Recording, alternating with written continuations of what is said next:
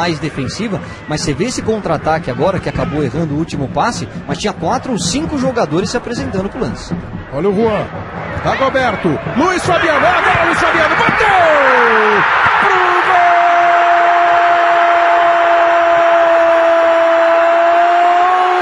Luiz Fabiano! Do São